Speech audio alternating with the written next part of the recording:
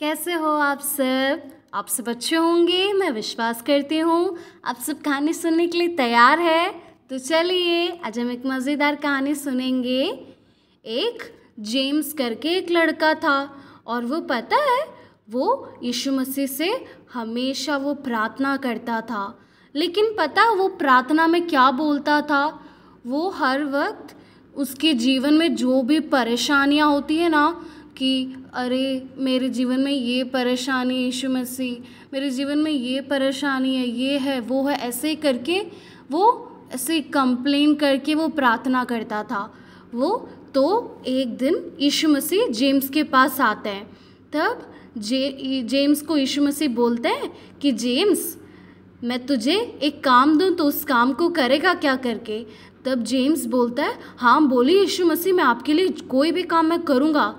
तब यीशु मसीह जेम्स को दो बॉक्स देते हैं। एक गोल्डन बॉक्स देते हैं और एक ब्लैक कलर का एक बॉक्स देते हैं। तब यीशु मसीह जेम्स से बोलते हैं कि इस गोल्डन बॉक्स में तेरे जीवन में जो भी आशीष है, तेरे जीवन में जो भी ब्लेसिंग्स है, उसको लिख लिख कर तू इस गोल्डन बॉक्स में डालना। ऐसे करके जेम्स को बोलते हैं। तब जेम्स बोलता है हाँ यीशु मसीह मैं लिख के डालूँगा करके।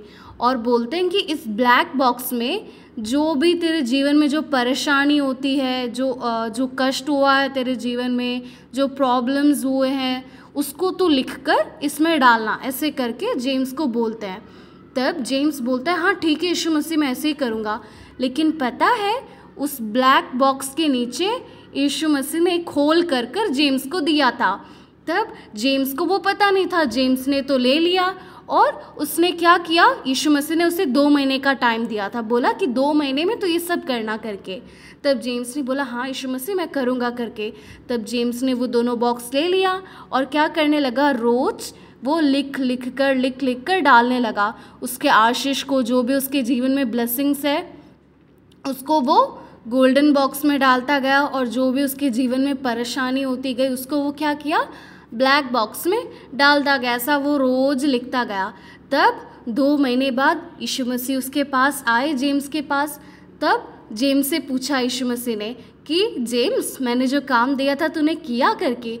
तब जेम्स खुशी से बोलता हाँ यीशु मसीह, मैंने किया है, मैं आपको लेकर आकर दिखाता हूँ करके।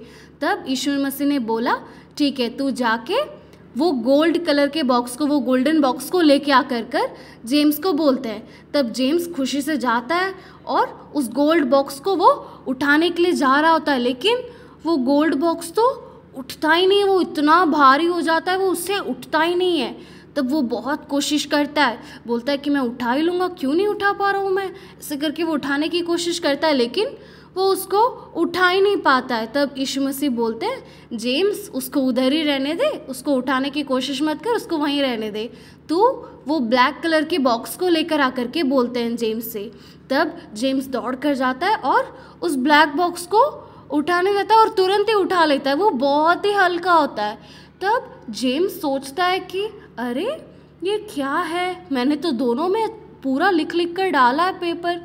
फिर भी वो गोल्डन बॉक्स इतना भारी है और ये ब्लैक बॉक्स कुछ भी हल्का है इतना करके, ऐसे करके वो कंफ्यूज हो जाता है। तब ऐसे वो सोच रहा होता है, तब यीशु मसीह जेम्स को आकर बोलते हैं कि देख जेम्स उस ब्लैक बॉक्स के नीचे क्या है? होल है।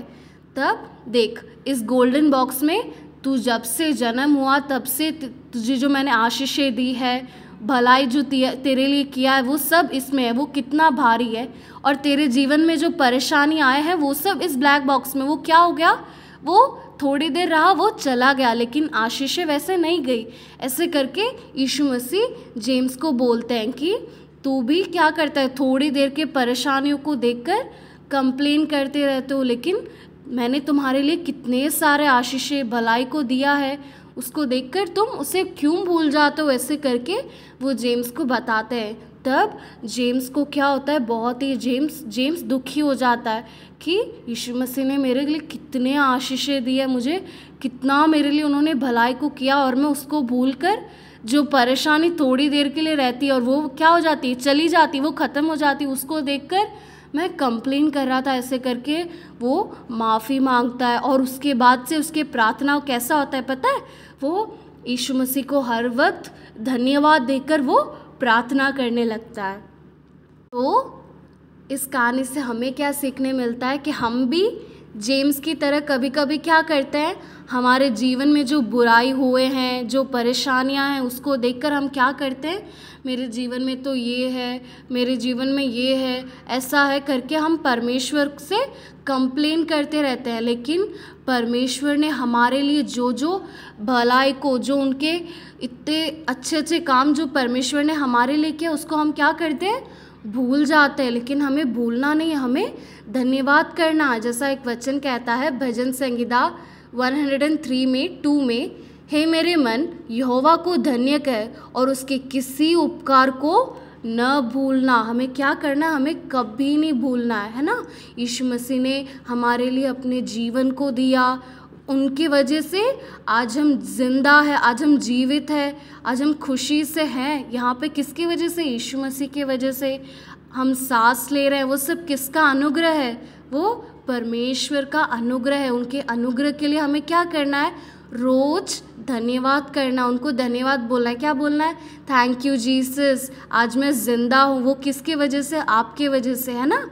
तो जेम्स की तरह हमें कुड़कुड़ाते रहे हुए बुड़बुड़ाते हुए हमें नहीं रहना है। छोटे छोटे चीज़ों को प्रॉब्लम को देखकर वो थोड़ी देर रहेगा, वो फिर चला जाएगा। लेकिन आशीषें, परमेश्वर ने हमें कितने सारे आशीषें दिए हैं, कितने सारे भलाई काम को किया है, उसे हमें कभी नहीं भूलना है ना? हमें उनको हमेशा यीशु मसीह को धन्यवाद कहना है। तो मैं विश्वास करती हूँ कि आप सबको कहानी अच्छा लगा होगा। तो हम अगली बार मिलेंगे। बाय!